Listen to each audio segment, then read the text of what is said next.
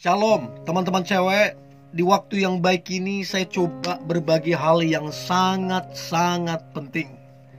Kamu yang lagi dekat dengan seorang cowok atau mungkin yang lagi berpacaran. Engkau wajib mendengarkan ini karena ini akan sangat menolongmu untuk tidak terjebak dalam hubungan yang salah. Untuk tidak terjebak dengan cowok playboy. Ya. Nah, saya coba berbagi tentang tanda cowok playboy. Sepintar-pintarnya cowok menyembunyikan kelakuannya. Sepintar-pintarnya cowok berkata-kata, berdusta atau apa pun. Saya dengar saya pastikan pasti ada tandanya. Pasti ada tandanya. Dan saya berharap apa yang coba saya bagikan ini membantumu teman-teman cewek untuk engkau peka dan tajam menilai. Dan pesan saya jadilah wanita yang tegas apabila kamu dapati cowok tersebut playboy. Oke, supaya kamu jangan dirugikan. Inilah tanda cowok playboy. Yang pertama, narsis abis. Biasanya cowok playboy identik dengan narsis abis. Orang bilang parlente sekali. Karena gini, kalau dia narsis abis, tujuannya kan ada. Gak mungkin orang narsis abis gak ada tujuan. Tujuannya apa? Untuk dapatkan pujian.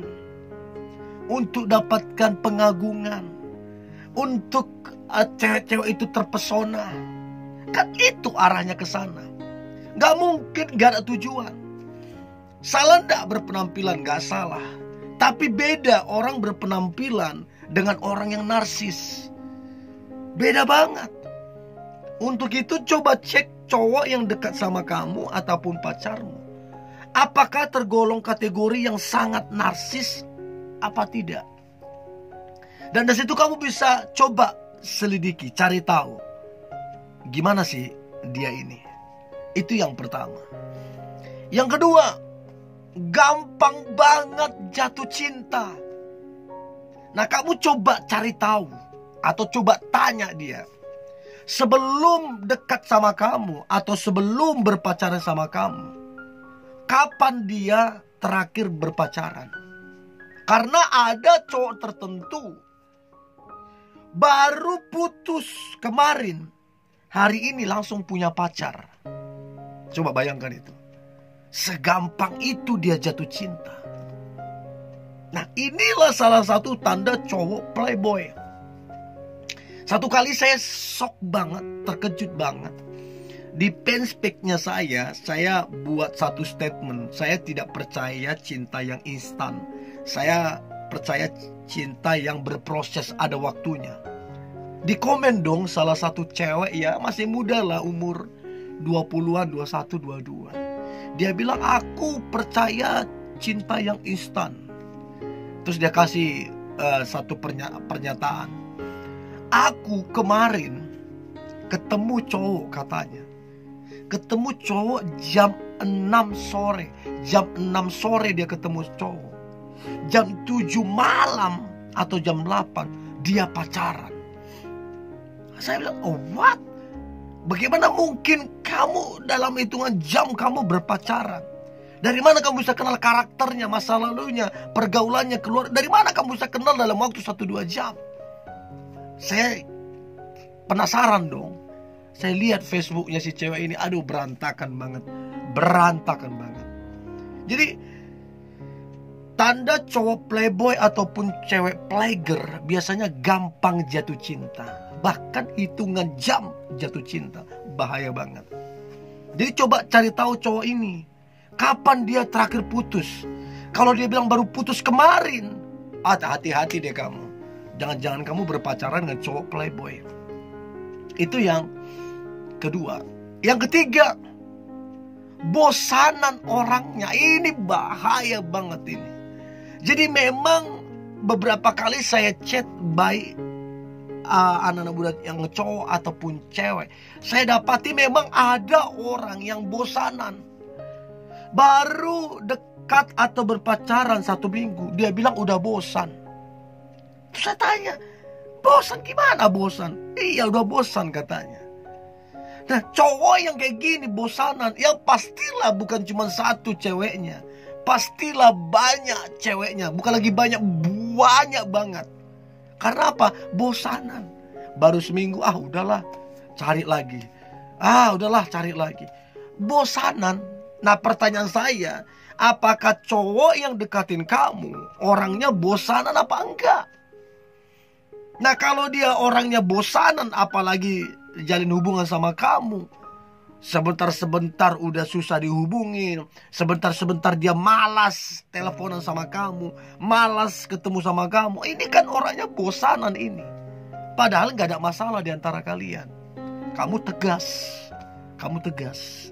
Supaya kamu jangan dirugikan cowok model kayak gini. Itu yang ketiga. Sementara yang keempat adalah tanda cowok playboy biasanya si cowok itu bersikap misterius. Apa artinya bersikap misterius? Kamu nggak tahu apa kegiatannya sehari-hari. Kamu nggak tahu sama sekali keluarga besarnya. Kamu nggak tahu apa pekerjaan aslinya, di mana rumahnya. Kamu nggak tahu Padahal kalian udah lama dekat, udah lama pacaran, tapi kamu nggak tahu apa-apa tentang dia. Pertanyaan saya, kenapa dia sembunyikan? Kalau seorang cowok menyembunyikan sesuatu, berarti ada yang dia sembunyikan dari kamu. Nah, ini yang kamu mesti cari tahu. Biasanya cowok playboy itu gitu, misterius, susah dihubungin, susah untuk ketemu. Hanya dia aja yang bisa ketemuin kita aneh banget. Itu salah satu tanda cowok playboy. Ya, itu yang keempat. Nah, kemudian yang kelima, datang dan pergi sesukanya. Tiba-tiba datang nongol di depan kamu. Gak janjian, gak hubungi dulu, gak kabari dulu. Tiba-tiba nongol di depan kamu. Kamu shock dan terkejut. Eh, kok udah di sini? Tiba-tiba juga hilang, pergi. Gak tahu kamu pergi ke mana sama siapa ngapain. Kamu gak tahu. Jadi kamu bingung dia ini sebenarnya apa? Kayak udah kayak jalangkung aja.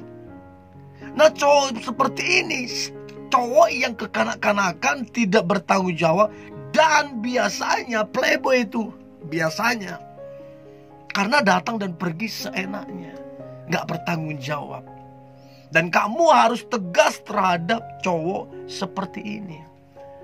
Terus kemudian yang keenam, HP-nya di private. Nggak bisa kamu pegang, nggak bisa kamu buka, nggak tahu passwordnya. Pokoknya di private dari kamu. Aneh.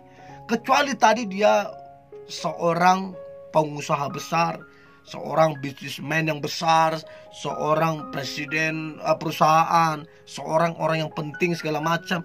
Oke, masih masuk akal. Ini dia biasa banget, ya, tapi di private sama dia ada apa? Kan aneh. Saya dari pacaran sampai saya menikah, HP saya terserah dipegang sama pacar saya. Bahkan saya letak Mau dia pegang dua hari tiga hari gak jadi masalah karena nggak ada yang disembunyikan di situ. Itu yang keenam. Yang ketujuh tanda cowok playboy adalah dia terima terima chat, terima telepon, diam-diam. Kalian lagi ketemu nih, lagi dekat, ketemu duduk duduk berdekatan. Karena ada telepon, ada chat, diam-diam dia mengangkat teleponnya. Ya gimana, gimana? Aneh. Apa salahnya dia angkat telepon di depan kamu? Balas chat di depan kamu? Apa salahnya? Kenapa dia mesti diam-diam? Apalagi menjauh. Kan aneh. Itu yang mesti kamu perhatikan dengan baik. Jangan apa ya? Jangan hanya modal perkataan kamu langsung percaya sama dia. Gak semua butuh bukti. Kalau dia tulus tidak ada yang dia sembunyikan, harusnya dia enjoy aja terima chat di depan di depanmu, terima telepon di depanmu. Harusnya enjoy aja. Saya jujur, mau siapa pun nelpon saya, saya harus di depan istri saya. Supaya apa? Tidak memunculkan kecurigaan. Tidak memunculkan salah apa persepsi yang salah. Kan aneh tiba-tiba kalau saya terima chat, tiba-tiba saya jauhin istri saya. Saya sembunyi-sembunyi. Kan aneh. Jadi perlunya membangun kepercayaan dalam hubungan supaya berhasil. Nah saya berharap tanda-tanda ini membantu teman-teman cewek supaya engkau tajam menilai seorang cowok apakah dia playboy atau tidak. Dan pesan saya kalau kamu dapati dia playboy tegas supaya kamu jangan dirugikan. Oke? Tetap semangat, tetap antusias. Hari ini hari yang luar biasa, hari yang penuh dengan mujizat dan berkat berkat Tuhan. God bless you.